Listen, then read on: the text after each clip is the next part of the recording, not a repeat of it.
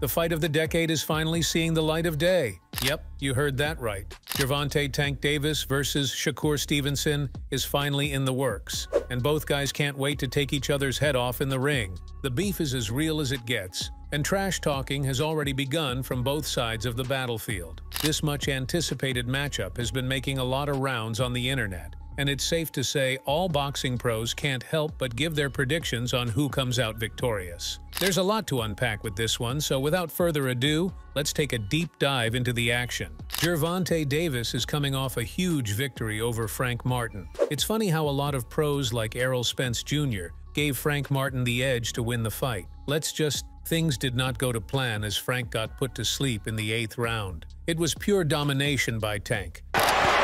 Oh, left uppercut. Down goes Martin! Mamma mia! That's what happens when you try to dethrone the king. While everyone praised Tank for his impressive win, Shakur Stevenson had a much more interesting take. Shakur Stevenson didn't hold back. He said watching the fight was like seeing a pro boxer toy with an amateur. It was a bad matchup. Uh, it was a professional versus an amateur. Um, Frank Martin lost the fight in round one when he when Tank walked out and, and made him do exactly what he wanted him to do.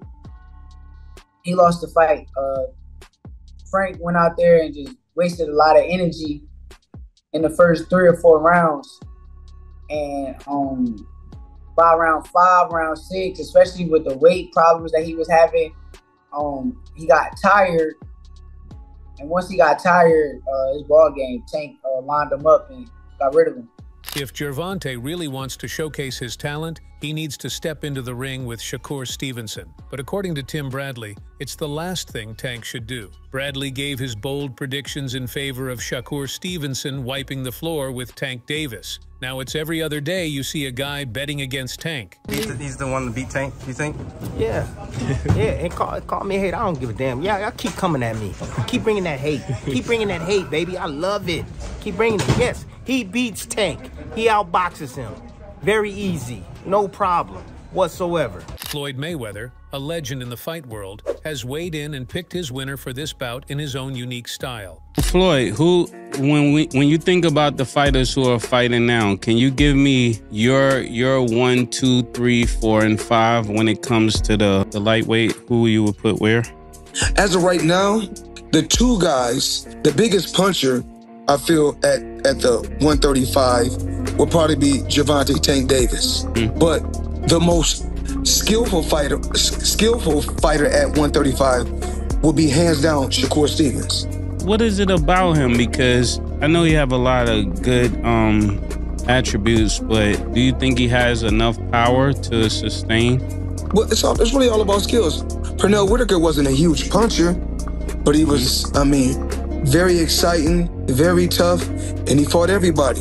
Shakur is trying to do the same thing. He want to fight the best they got out there. I believe his contract is coming to an end, so hopefully we can come together and I can take him to that next level. With Floyd, it's always about skill over crazy power. The man won all 50 of his fights by relying on his technique and boxing IQ in the ring. So when Floyd speaks, you listen. He's throwing his support behind Shakur all the way. This legend knows what it takes to be unbeatable, and he's betting on Shakur's skills to come out on top. Terence Bud Crawford gave his honest thoughts on this mega fight. What he said is just bad news for Shakur Stevenson. One thing I can say about Tank is he's smart.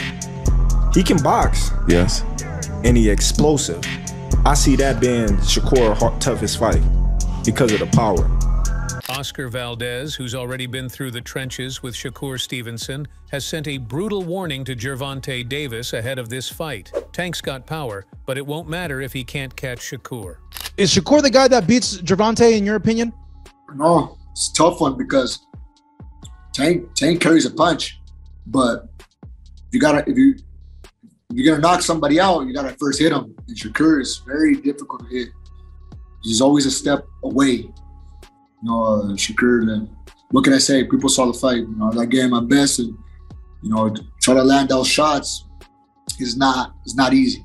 And even if you land those shots, it's in a defensive way where he's kind of backing up, and you can't get him with a clean shot. To even land that, that knockout that everybody wants. You know. Former CEO of Mayweather Promotions, Leonard Ellerbe, who's been making headlines lately due to his controversy with Floyd, believes Tank is going to steamroll Shakur. And it's not just Shakur. Ellerbe says there's a whole list, including Devin Haney and Lomachenko, who won't pose any problems for Tank. According to Leonard, none of these guys stand a chance against him. He has a hit list, and he's going to get every one of these guys, who, these guys who y'all say are the top guys. Trust me. Trust me. Shakur's going to get that work. He asking for it, he going to get that work. But it ain't what he think it is. It ain't what he think it is. I can't wait for it to happen, though. How confident you are Tank could be fighting someone like a Devin Haney or a Shakur uh, a Lomachenko next. Do you see that kind of a fight happening for Tank? All these guys, all these guys, who you guys, who you guys say are the top guys out there, Tank gonna get every one of these guys. He just can't fight them all in one night. He done already got Ryan Garcia out the way. Next is Frank Martin on the hit list. On the other hand, American professional boxer Keyshawn Davis is backing Shakur to do what 30 other fighters could not. How do you see that fight unfolding between Shakur and Tank Davis? Well, um, you never know in this sport, man. Like in terms of who getting a fight first. Like who would expect Frank Martin fighting fighting Tank, you know? Especially after the fact, you know, he didn't fight Shakur. So you you already never know who will get the fight first. You know, I'm at a level where I am ready. So, you know, whoever Tank will want to fight first, it's really up to that man. You know what I'm saying? But in terms of him and Shakur, was if there was to fight, I think Shakur would win. Like I think Shakur got better skill, and of course he's just better defensively. I'm always going with the better skill, the better defensive fighter. Um, Tank skill is phenomenal, but I just feel like he's uh, offensive. He's offense first. But before Shakur goes head to head with Gervonta Tank Davis, he's got a tune-up fight lined up in July. First up, Shakur will defend his WBC lightweight belt against Armenian-born German Olympian Artem Harutyunyan on Saturday, July 6th at the Prudential Center in his hometown of Newark, New Jersey. However, Artem isn't much of a threat. With only 12 fights under his belt compared to Tank's 30, this bout won't prepare Shakur for the storm Tank is bringing. This fight is just a warm-up. The real test is yet to come. And what makes this fight even bigger is Floyd's role in it. You don't have to be a die-hard boxing fan to know that Floyd and Tank cannot stand the sight of each other anymore. The blood could not run any colder between those two, and things took an interesting turn when Floyd posted a video of Shakur calling Tank out on his Instagram story. Your beef is not with Floyd Mayweather. You sitting here beefing with Floyd. It's a fighter out here that's been calling your name that want to fight you. Gervonta Tank Davis, let's make the fight happen, man. I'm tired of tweeting. I'm tired of talking about it. Stop ducking me and let's make the fight happen. You already know whose side Floyd's on. Shakur Stevenson is our best shot at dethroning Tank Davis, and that's exactly what Floyd's rooting for. Money Mayweather is itching to see Tank take an L. Since Floyd has never lost, that's the only way to settle the debate on who's better, Floyd or Tank. Either, this bout will break records. Tank versus Shakur is the fight to make. The fans can't wait to see how this one goes down. Let's see what the fans are saying. One fan tweeted this on X. With all due respect, I don't think anyone wants to watch Shakur versus anybody. He's a great fighter. Don't get me wrong at all. Shakur is one of the best fighters right now, but his style is just super boring. He moves to damn much. Nobody wants to see that at all. Gervonta Davis isn't the only one sounding off. Rolly Romero has also thrown shade, calling Shakur the most boring fighter ever, with Devin Haney right behind him. When these big names are all saying the same thing, you know there's got to be some truth to it. Like, I'll be honest, you know, I, I, I used to think Devin Haney was the most boring fighter in dance sport. But at least Devin Haney tries to knock people out. It's just Devin Haney just has the inferior, you know, genetics. You know, his genetics are beyond horrible with his sloppy legs and his his like his weak body frame and all that stuff. You know, but Shakur, that's that guy will put anybody to sleep outside the ring, not inside the ring because that's like he's the most boring fighter in the history of boxing and they could say whatever the fuck they want. They could hype him up and all that stuff, but I, I, I really feel bad for him because there's no way they could put him on pay per view.